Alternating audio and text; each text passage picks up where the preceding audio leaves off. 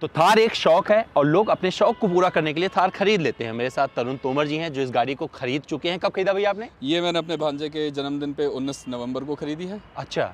जी। और कितना चला चुके हो अब तक? आ, ये अब हज़ार किलोमीटर चल चुकी है इसकी पहली सर्विस का टाइम आ रहा है। तो ये पहली सर्विस के टाइम तक पहुँच चुके हैं। गाड़ी के अंदर बैठ के इनसे पूछने वाला हूँ कि ये थार ही क्यों खरीद लाए? और थार में क्या इनको सारी चीज़ें मिली जिसके लिए इंतज़ार कर रहे थे उनको कितना इंतज़ार करना पड़ा कितने की पड़ी थी क्या माइलेज मिल रहा है और क्या क्या करने वाले हैं थार से। तो चलिए तरुण भाई रेडी हो? तो चलिए दोस्तों चलते हैं और इनको गाड़ी के अंदर बैठ के बात करते हैं।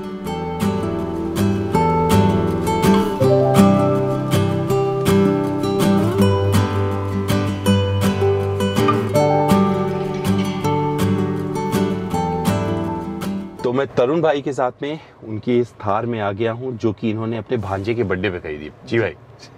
तो और क्या क्या देख रहे थे आप? या थार ही चाहिए थी? आ, नहीं थार ही चाहिए थी। आ, एक ज़माने में शौक फॉर्चुनर का था बट जब से महिंद्रा ने नई थार निकाली है कुछ दोस्तों ने खरीदी थी उनकी थार की टेस्ट ड्राइव ली तो मज़ा ही अलग है इस ये कौन सा वेरिएंट है और कितना इंतज़ार करना पड़ा आपको इसके लिए? इसके लिए जब मैंने बुकिंग डाली थी तब मेरे को बोला गया था कि छह महीने की वेटिंग रहेगी। आई थिंक वो जो चाइना में चिपसेट का प्रॉब्लम चल रहा है उससे रिलेटेड था। हाँ। बट फिर मेरे को अचानक से कॉल आया कि हमारे पास थार अवेलेबल है। अगर आप आ सकते हैं और देख के कर सकते हैं तो वाई नॉट और इत्तेफाक की बात है। भांजे के बर्थडे पे लेनी थी। उससे पहले पहले हमने बोला उनको कि अगर आप हम्म। दिलवा सकते हैं तो हम लेने ज़रूर आ जाएँगे। और क्या क्या चला रहे थे इसके पहले? इससे पहले मोस्टली इनोवा चलाई है ए फोर चलाई है वोक्स वैगन की वेंटो चलाई है तो आप बता सकते हो थार लोग खरीदते क्यों हैं? इसका जवाब चाहिए। क्योंकि जहाँ से आप बिलोंग करते हो जिस कम्युनिटी से और जिस जगह से वहाँ पर इसका चलन बहुत है इस गाड़ी का। जी जी जी। तो थोड़ी वजह हाँ। थार एक कल्ट है। इसकी अपनी फ़ैन फॉलोइंग है हर किसी को समझ में नहीं आती और जिसको आती है उसके दिमाग से जाती नहीं है। अच्छा। तो अभी जब आप इसे खरीद लिए हो तो कितना चला चुके हो लगभग? ये मैंने ऑलमोस्ट एक हज़ार तेरह सौ किलोमीटर चला ली है। अ, मैं अभी अपनी फैमिली के साथ एक जिम कॉर्बेट की ट्रिप करके आया था तो वहाँ पे लेके गया था। छोटी फैमिली के लिए तीन लोगों के लिए बहुत शानदार कार है। अच्छा जैसे लोग बोलते हैं कि रियर सीट पे ना एकदम कंफर्टेबल नहीं है तो उस पर क्या बोलोगे? जी तो हम लोग यही बात करके हंस रहे थे कि जो वाइफ है वो तो बढ़ेंगी नहीं। ड्राइवर मैं ही रहूँगा। बच्चा बढ़ेगा तो वो आगे चला जाएगा भाई पीछे चली जाएँगी। तो हम लोग मैनेज कर लेंगे। अच्छा मैनेज कर लेंगे। हाँ बट इजी है बच्चों के हिसाब से ठीक है। बच्चों के लिए अच्छा है। बच्चों के लिए लेकिन एक चीज़ बताइए जिम कॉर्बेट गए तो आपने सामान भी रखा होगा। तो हाँ। या तो फिर दो लोग गए होंगे तो सामान कैसे लेके गए वो बताइए। वो ही सबसे ज़्यादा हमको लाइक चीज़ थोड़ा सा आश्चर्य करके आई हाँ। कि जितना हम लोगों ने लगेज पैक किया वो लगेज हम लोगों ने एडजस्ट कर लिया।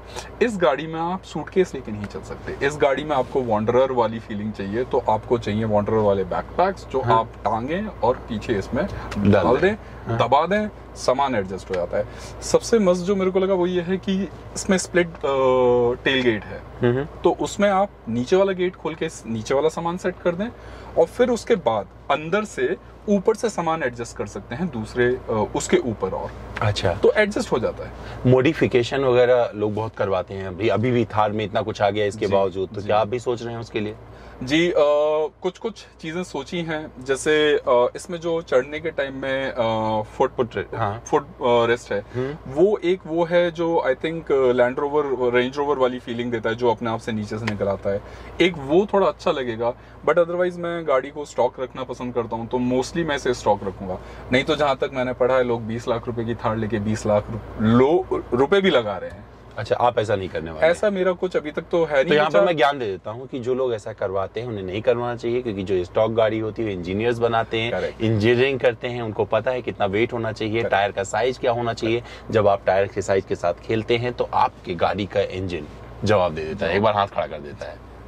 कर देता है ना और वहीं पे वारंटी भी खत्म हो जाती वारंटी है भी खत्म तो गाड़ी अगर आप चलाना चाहते हैं तो स्टॉक को पसंद करें। तो अच्छा लगा मुझे आपसे सुनकर ये, क्योंकि अमूमन आप जैसे लोग ना ऐसा नहीं सोचते हैं बट आप। सोचते हैं तो ये अच्छा लगा मुझे। चलो परफॉर्मेंस पे आ जाते हैं। तो परफॉर्मेंस में कैसा रहा? हाईवे पे कैसा परफॉर्मेंस मिला आपको हाईवे पे अच्छा परफॉर्मेंस है फ्यूल इकोनॉमी भी ठीक है।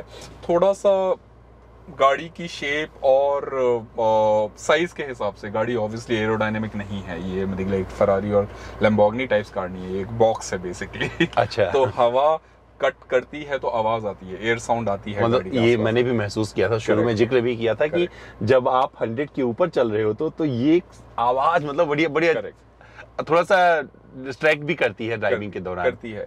और कभी कभी ऐसा लगता है कि हल्का सा गाड़ी आपको वॉबल दे रही है वो मे बी इसकी शेप और साइज़ की वजह से है बट अगर आप एक डिसेंट स्पीड में स्पीड लिमिट्स के हिसाब से चलें तो बहुत कंफर्टेबल कार है। सीट्स में आप देख सकते हैं साइड में क्वेश्चन दिया गया है, जिससे कि आप लाइक इधर उधर ना डोलें अपने जगह फिक्स रहते हैं। यहाँ पे अभी मेरे को थाई सपोर्ट नहीं मिल रहा है। थाई सब थाई सपोर्ट मिल रहा है।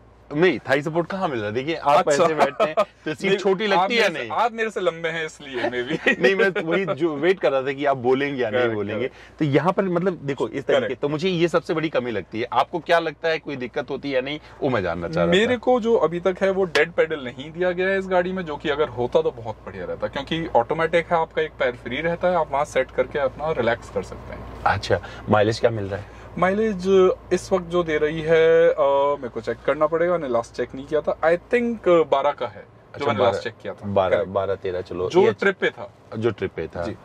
तो अभी पहला सर्विस तक आप पहुँच गए हो। जी। तो आपको क्या लग रहा है? मतलब क्योंकि पहली सर्विस तो सिर्फ़ ही फ्री होती है बट कोई और काम आपको लग रहा है या कोई ऐसी चीज़ तकलीफ़ दे रही है जो महिंद्रा ने इसमें दे दिया जिससे आपको थोड़ी डिसअपॉइंटमेंट हुई है?